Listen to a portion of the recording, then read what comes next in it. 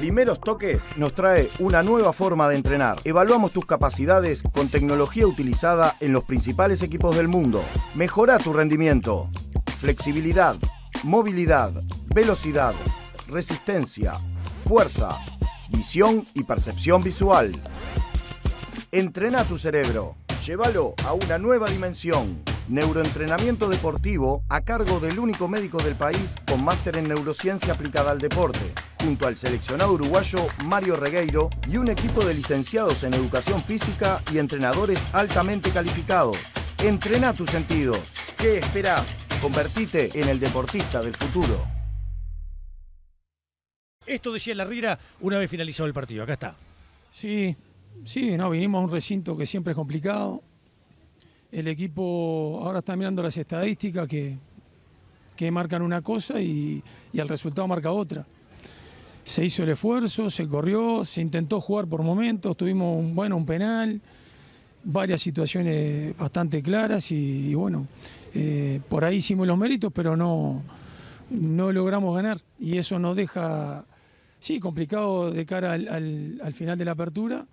Y lo que hablamos siempre con los muchachos es que en este club hay que mantenerse ahí arriba a nivel de tabla anual.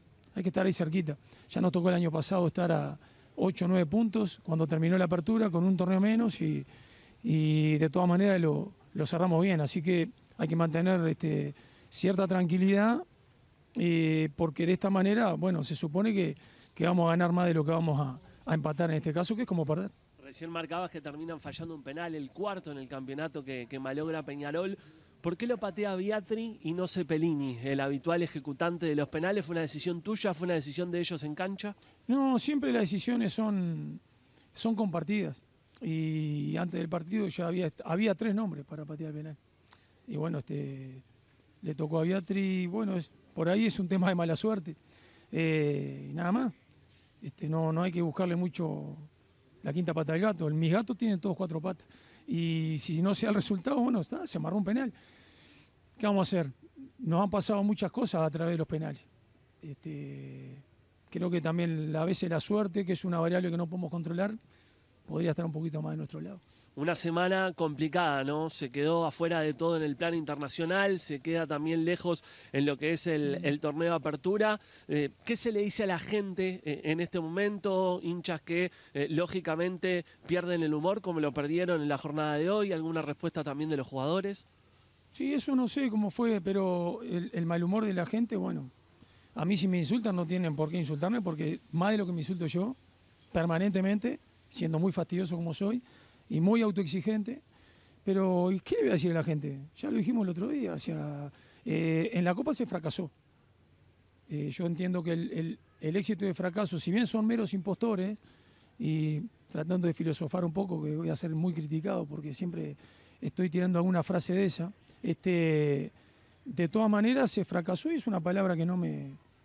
Que va a ser, tenemos dos objetivos dentro de la Copa, seguir en Libertadores o por lo menos, bueno, estaba el segundo objetivo que era este, clasificar a Sudamericana. No se logró ninguna de las dos. Hicimos nuestro trabajo, pero no lo logramos. En un grupo que fue muy parejo, lo habíamos dicho del arranque, y bueno, hoy no se le puede decir nada a la gente porque la gente está enojada, es, es todo pasión. Capaz que más adelante se podrá ver las cosas un poco más claras, pero hoy no, ¿qué le voy a decir a la gente? Agradecerle siempre todo lo que han hecho y conmigo, que ha sido algo hasta recordando la final de la Supercopa, que me cantaron, corearon mi nombre, decía, ¿qué le voy a decir a la gente? Nada, este, hay, que, hay que seguir, este club es muy grande, hay que seguir con la, con la misma templanza, adentro y afuera, para, para tratar de llegar al, al objetivo que va a estar a fin de año. Esta es una carrera de resistencia, no de velocidad. ¿Vas a tener a Gargano para la última fecha o todavía hoy no podés confirmar eso? No, no lo puedo confirmar, no, es un tema eh, sanitario que no, este, no lo podemos confirmar y, y bueno, habría que ver, este, tenemos que permitir que los futbolistas se recuperen bien. Este, todos los partidos son importantes, pero ninguno es una este, es tan importante como para poner en riesgo la, la salud y, y- y el estado físico atlético de los futbolistas. Así que no sé, no sé qué va a pasar. Gracias, Mauricio. A ustedes.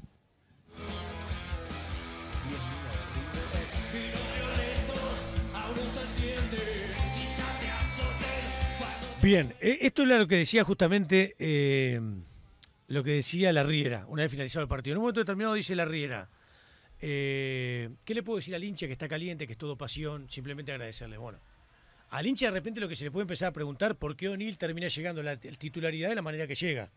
No por descubrimiento de la Riera, sino porque no tenía más remedio que poner al chico O'Neill y termina quedándose con la titularidad.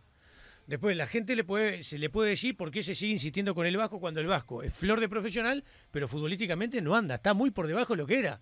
O quizás tal vez analizar, che, ¿por qué el Vasco termina exigiéndose en lo físico y no rinde lo que rendía antes? Quizás porque el circuito de Peñado por derecha no funciona. Quizás al hincha, el socio de Peñado se puede decir, che, ¿por qué somos en el primer tiempo un cuadro que ataca por un sector, por una banda, y en el segundo tiempo atacamos por la otra banda? Porque en el primer tiempo tenemos a Alonso, en el segundo tiempo ponemos a el chico que venía de Defensor Sporting Club.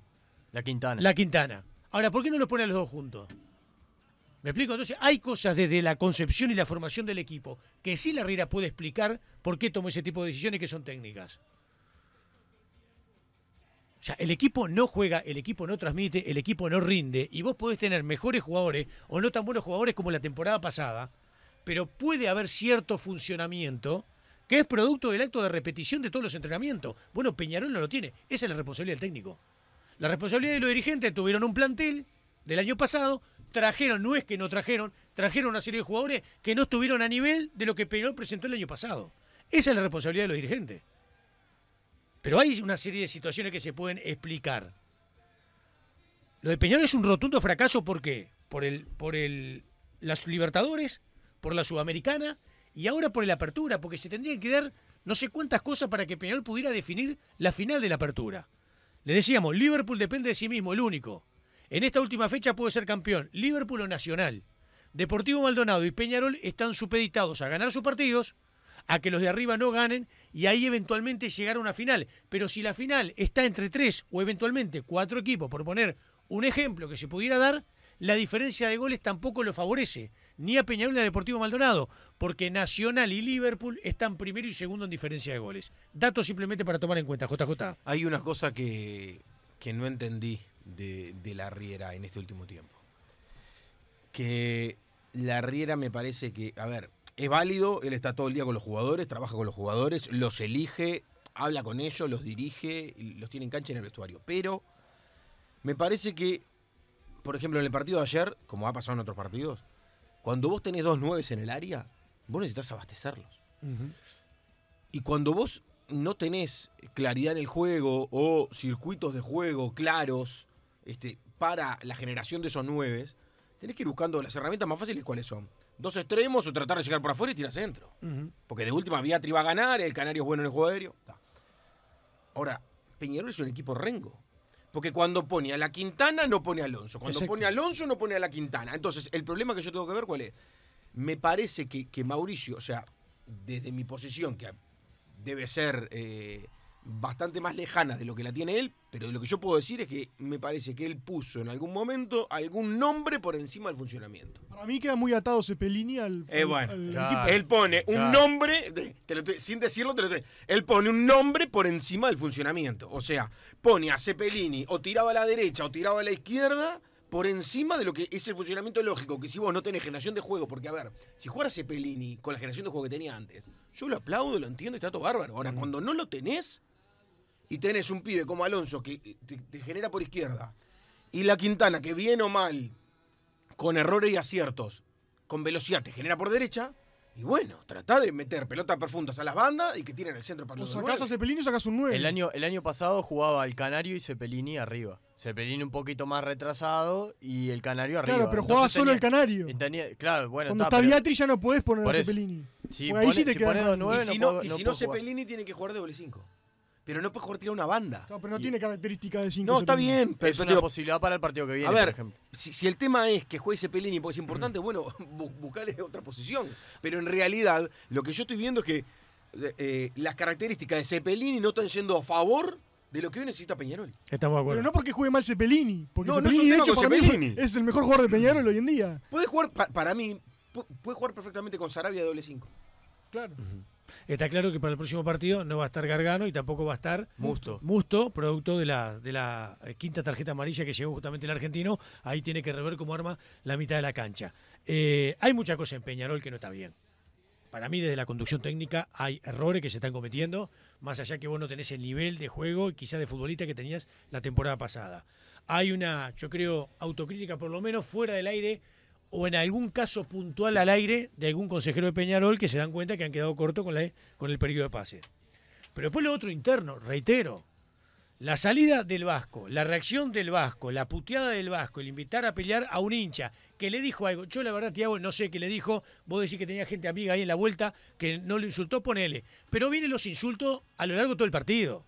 ¿Me explico? Y yo no estoy justificando lo que hizo el Vasco que no debió. Méndez, ¿debió ser reprimido la conducta del Vasco cuando sale y es sustituido mientras transita por atrás del campo? Rumbo a lo que era el, el, este, el banco de Peñarol. Debió ser expulsado. Debió ser expulsado. Con el mismo criterio que hablamos la otra vez del festejo, ¿se acuerdan del jugador de defensor que fue hasta Balboa, de- con Balboa. la hinchada? De alguna manera eh, eh, debió ser expulsado. Debió ser expulsado. En un momento el árbitro amaga, ahí aparece este Urreta Vizcaya de River, amistad con el Vasco, lo lleva para que se tranquilizara, una serie de cosas más. Ahora, lo que pasa después es el que mientras iba transitando, se le iban acercando cada vez más hinchas de Peñarola para putearlo. Después, por ejemplo, putean al Mota Gargano, muchachos, agradezcanle al Mota Gargano, no lo puteen si es un penal insólito. El Mono Pereira, el Mota Gargano, el Mono Pereira. El Mono Pereira hace un penal que no lo hago yo jugando en la liga universitaria. Absolutamente evitable, termina siendo penal y la gente lo puteaba de la tribuna. Está mal la puteada y está mal para mí lo que hizo el Mono con la camiseta de River, pero bueno, cada uno hace lo que quiere. Y después lo otro, está muy mal que los hinchas terminen sobre el banco de Peñarol agarrando a patada el banco, con un ruido a chapa que se sentía en todo el Saroldi. Entonces me parece lamentable, reitero, si el Consejo Directivo de Peñarol no toma una medida con relación a estos hechos que están aconteciendo y que se dan sistemáticamente en cada partido donde Peñarol no gana, es una bola de nieve que vos no para más. Y espero y aguardo la reunión del Consejo Directivo que en principio iba a ser para esta semana. Sobre este tema, Tiago, ¿tenés algún dato más? Sí, sí, bueno, se sigue con el tema de, de las pruebas. Peñarol por ahora no fijó un consejo directivo. Seguramente lo haga en el correo del día de hoy. Muy probablemente para el miércoles, este, pero en principio todavía no está definido este consejo directivo. No, no olvidemos algo. Expediente abierto en la Comebol. Los delegados trabajan intensamente, no con muchos elementos de juicio a la hora de la defensa. 35 minutos detenido el partido. Eh, El partido en el Sarol de ayer se detuvo. El árbitro un momento giró hacia el medio y se fue a hablar con el, el, de seguridad del partido. Y estuvo detenido. Menos tiempo, obviamente, pero estuvo detenido. Y la sensación que queda es que cuando hay un grupito que se exalta, paran el partido. Entonces, si vos no controlas eso, te paran el partido cuando quieren. Cuando vos no tomás decisiones como contrapartida a lo que está pasando y se encarniza y se materializa que te paran el partido cuando quieren, ojo, ojo, porque no sé lo que pasa acá en adelante, si los resultados no se siguen dando. ¿Me explico? Entonces, hay que poner la barba en remojo. Cuando acá tenemos que elogiar, elogiamos. Ahora, cuando tenemos que criticar, criticamos. Yo no critico porque tuve un problema personal con un dirigente, jamás lo haría. Jamás lo haría. Y muchas veces esta profesión hace que vos eh, elogies a gente que por ahí de, repente no tenés amistad, desprecias y gente de la que te considerás amiga, de repente lo tenés que criticar. Ahora, cuando hay que criticar, criticamos. No criticamos por criticar. Yo no estoy peleado con Tiago, hace mil años y lo sigo criticando y ahora aprovecho y lo sigo criticando y digo, che, los demás periodistas ahora se suben al carro. No, no va con nosotros. Cuando tenemos que elogiar al presidente lo hemos elogiado. Campeón del uruguayo, campeón de clausura, metido entre los cuatro mejores la Sudamericana, eh, tiene más clásicos ganados que perdido y en la Sudamericana dejó eliminado a Nacional. Eso es hecho es objetivo. ¿Qué lo vas a criticar por eso? Como presidente. Ahora, en esto sí hay que criticarlo. Porque entiendo que tiene que tomar medidas que hasta ahora no ha tomado. Estamos en la recta final. Vamos a escuchar unos minutos de Rubio, ¿les parece? Esto decía el presidente de Peñarol, eh, Ignacio Rubio, una vez finalizado el partido.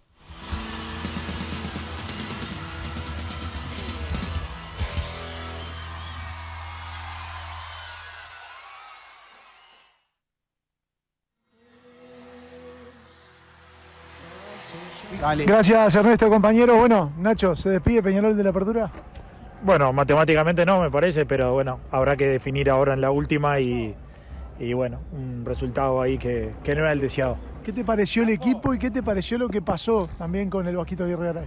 Bueno, parte de un campeonato que no nos salieron las cosas como queríamos y, y estas cosas pueden pasar, es fútbol, así que nada, nada que agregar a eso. Cuatro penales cerrados en el torneo parece mucho, ¿no? Digo, Sí. para esa posibilidad. Sí, parece muchísimo.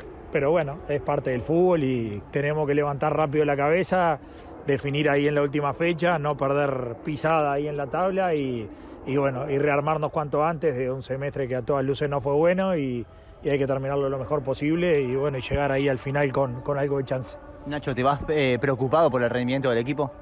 Bueno, la misma preocupación que tuvimos todo este semestre, es decir, no, no están las cosas bien, eh, sobre todo en la cancha, puerta adentro estamos bien, hay que dar vuelta a esto. ¿Hoy fue de más a menos el equipo? No, no sé, no, no hemos estado bien eh, en general. No recibimos goles, pero tampoco lo hacemos. Esto de los penales, eh, nada, no, no es el, el, el, mejor momento. Hay que laburar mucho para darlo vuelta y sobre todo mantener la calma adentro. Vos hacías una autocrítica hoy en, en Punto Penal, asumiendo que es parte de la directiva y no de la RIRA tanto esto. No, yo siempre digo que son parte de todos, no es de uno o de otro. Nosotros tenemos nuestras culpas, pero no, no, no tienen todo el técnico, tienen todos los jugadores. Y bueno, es un semestre en el que las cosas no han salido bien, así todo estamos definiendo hasta el final, pero claramente no han salido bien, hay que mejorarlo. ¿Vas a hablar con el Vasquito? Porque más allá de la crítica del hincha, también le contestó. Es fútbol. El Vasco ama esta camiseta como la amamos nosotros y le duele, como a mí me duele alguna cosa a veces, y las tenés que fumar, y hay días que tenés el carácter mejor para fumarlo y hay días que no, y bueno, yo qué sé, no, no, no es grave. El hincha se entiende con el jugador y festejamos cuando, cuando los clásicos en los que jugó el Vasquito los ganamos y salieron bien, y hoy cuando las cosas no están bien, eh, es normal de los hinchas. Bien, mi discrepancia con el presidente Peñarol, por quien siento un profundo afecto, con Nacho yo tengo una muy buena relación, porque somos tipo directo, no andamos con vuelta. Él me dice lo que piensa, yo digo lo que piensa con mucho respeto. Pero yo lo que no comparto con el presidente Peñarol es que es cosas normales, producto de la situación, sobre el tema de la hinchada que le preguntaron recién. No, viejo, te están pateando donde están tus jugadores. Te grafitearon el campeón del el, el, los aromos. Peñarol tuvo gente de seguridad lastimada los otros días en la, en la Copa Libertadores. Ni siquiera hicieron la denuncia, por lo menos hasta las últimas horas no la habían hecho, por más que tienen pensado hacerla. Entonces vos decís, no, no, pará, tienen que tomar algún tipo de decisión, algún tipo de medida. Hay, cosas que no están funcionando bien en la tribuna. Yo entiendo la calentura de la gente, producto de los resultados. No te habilita para hacer lo que está haciendo algún grupito, como yo digo, el grupito Lobo, no te habilita para estar haciendo lo que están haciendo en cada uno de los partidos, cada vez que Peñarol no tiene un resultado esperado de victoria. Está muy mal y me parece que los dirigentes tienen sí o sí que tomar una resolución o por lo menos una medida. Veremos qué es lo que pasa esta semana con esa situación.